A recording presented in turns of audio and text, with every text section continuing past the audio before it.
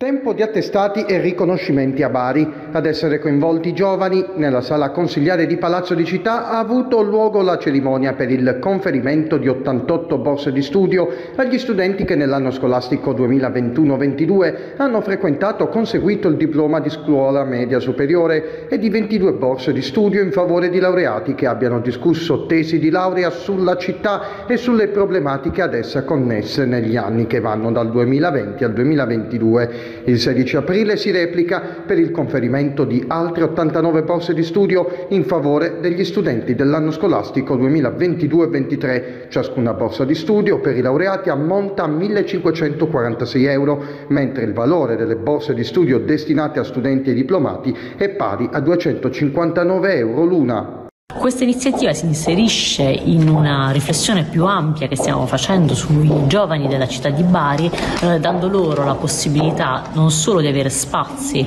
penso alle 11 biblioteche che abbiamo inaugurato, eh, rivolte prevalentemente a loro, eh, o agli spazi di luoghi comuni, a Spazio 13, all'Accademia del Cinema di Enziteto, ma anche servizi rivolti ai più giovani e in questo caso anche sostegni economici per gli alunni meritevoli con particolare attenzione a chi è in difficoltà.